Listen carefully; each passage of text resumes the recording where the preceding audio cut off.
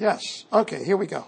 So, um, the schema, so you move from um, loosening this false self, bad behaviors, the, ver- the vices, the things that you just seem to do, to beginning to do um, better things.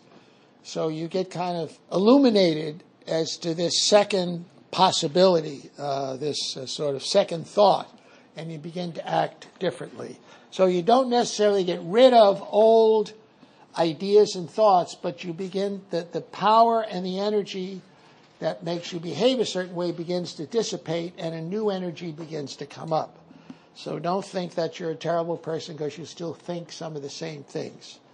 Uh, thoughts are thoughts. You don't control thoughts, but you learn to uh, not let them control you. That's the difference. And so we begin to act, uh, we have an energy for good behavior. We become more loving, more accepting, less fear based life. Uh, and then we move into this, as we move into this deeper sort of unitive way. And there are saints that talk about this. They'd say purgation, letting go, illumination, starting to do better, and then unitive. I want unitive, I want unitive. Well, don't focus on the union. That's the contemplative. That's not your job. That's God's job. Uh, you just do your methodology of, of how you get more still, let go of thoughts, focusing on them, let go of words. And if God wants you to be to have this contemplative moment, you'll have it uh, for what, and probably uh, so that you'll be a better person with others that day. Um, so we're beginning to move from the prayer of what we do. This is the way I was taught. Prayer is what I do. Prayer is what God does. I need to get out of the way, and that's that's how we'll move. Prayer is what God does. And I started to, I, I thought about that. I says, wow, that's so much easier. I don't have to do prayer.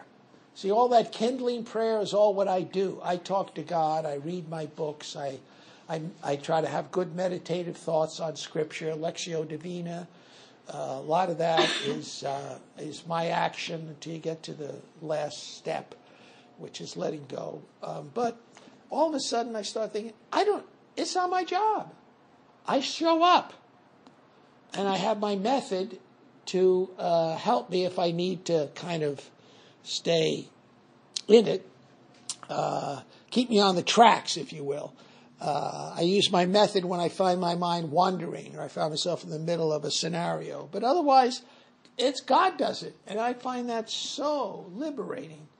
Uh, God does all the heavy lifting in meditation. I don't. In deep meditation, I don't. So, um, contemplation becomes something we allow to be done to us. It's not something to achieve. So you say, I achieved a contemplative moment. Uh, I know, okay, that's, a good, okay. There's, I just try to tell them there's more. There's when you find out you're not achieving, that it's just a gift. Uh, so it's something you allow. It's, it's beyond this idea of God. I, can, I achieved oneness with God. So there's you, and then there's God, and the two of you are one, and that's what you're at. Yes, I said, that's, that's not quite it. Uh, there's more. I said, there's more. There's when you're not even aware of that. It's so deep. But it's what'll change your life. So um, you can look at uh, Christianity. Well, but I, I, know Christianity, mystical Christianity. I said that was the unmediated experience of the divine. Very Kierkegaard, if you will. Uh, mystical Christianity, the inner emptiness. I let go of all my thoughts, my agenda for the day, what I want God to do, what I want you to do, and so on and so forth. I begin to not focus on that stuff. And that's what my method helps me to do. So I create, if you would, a space. You can call it an inner emptiness, a space where you can offer God hospitality. Isn't that a wonderful thing? I'm offering you hospitality, God. Come into my hotel. I have a room for you. Uh, something like that. Uh, it makes you think you're being nice to God. You're doing something. Uh, God's always within us, but it's just a nice thought sometimes to help us to say, why am I doing this? Oh, God is wandering around the universe and would like to just have some space within you. Eh, sometimes that helps. So contemplation is not about what's in it for me. That's so much of what uh, uh, vocal, active prayer is like, mental prayer is, is what I want to get. What's in it for me? And that's why a lot of people do start getting involved in this stuff, is what's in it for me? Um, well, I, I suggest, why don't you gaze at the cross? That may be in it for you. That'll get a lot of people out of it. Uh, so, um, and another thing you stop asking yourself is this prayer working? Is this prayer working? Um, well, I would say if your idea of the prayer working is you feel good all the time and it doesn't matter what everybody else feels, then it's not working. Uh, but if you say, I, I do this prayer and I, I don't know, I just sometimes I'm, my mind's distracted, I think of other things. Oh, maybe there's a moment or two when I do feel quiet and still, but it seems to pass. I don't know about this. And then I say to them, How is your relationships with the people around you going? Oh, they're going better. My, my world's going better. Ah, oh, the prayer's working because you are beginning to act out the fruits of the prayer.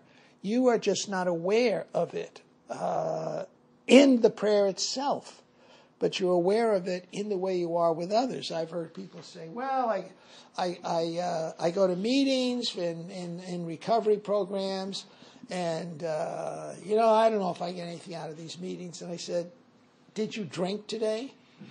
no. Well, then you got something out of it because that's what you did on a daily basis, that bad behavior. Now you don't do it.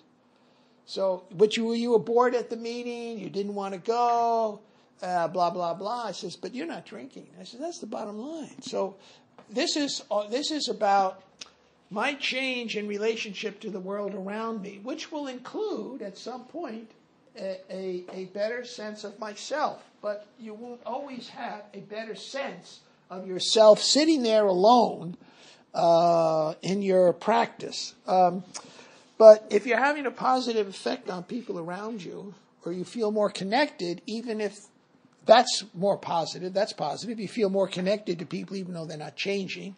They don't bother you anymore like they used to. I, I, it's okay. Um, I see, and I was talking to someone a little bit earlier during the break. I see that there's just this attitude towards me as an older priest in, in my own community that, that that I'm older, I'm beyond, I'm not going to be asked to do certain things, and a lot of it has to do with age, I think. And I said, it used to bother me. I said, I don't care because it frees me up to do what I want to do. And that means follow what God is asking me to do. So, uh, I mean, I'm a Paulist priest, and people say, What do you do? And I said, Well, I teach about meditation and contemplation. That usually ends the conversation because. Are you converting someone to Catholicism? Are you getting more people to go to church, or uh, or so on and so forth?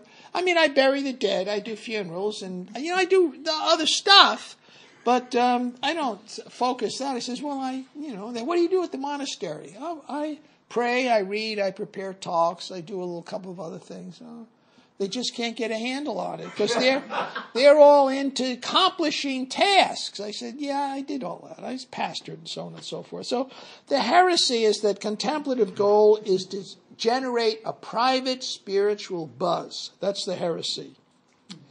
Uh, be rid of all personal unhappiness. That's what I want to be rid of all personal unhappiness. That's not being of service to the world. You don't see that's all within me. It's all about me. Um, so I think keep those things in mind. So when we sit now, uh, we can keep in mind that God's going to do the work. There's no goal uh, in terms of my personal feelings. It's just to uh, have a nice space for God to rest in and love on you. That, that's all God wants to just love on you. And stuff will come from that. Will you have a wonderful 20 minutes? I have no idea. Because there could be all kinds of sounds outside and so on and so forth. Well, that's what my method helps me to do. I don't. I notice the the whistles, uh, the the uh, fire alarm sounds, uh, and when I find myself wondering if a church is burning down, uh, then I start thinking about Notre Dame uh, in in uh, Paris. then I call upon, I just notice my breathing because I just want to separate myself from that scenario of thinking that started with the fire alarm. But if I hear the fire alarm, but it, it doesn't make me think about anything, it's just background. Just background, that's all. So you're not get, emptying the mind, you're just not paying attention to it. So uh, you're making space for God. So let me just turn this off. Oh. Let me see. Oh, you got to stop.